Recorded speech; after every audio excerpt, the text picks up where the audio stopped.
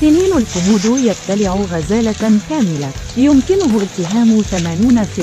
من وزن جسمه في وجبة واحدة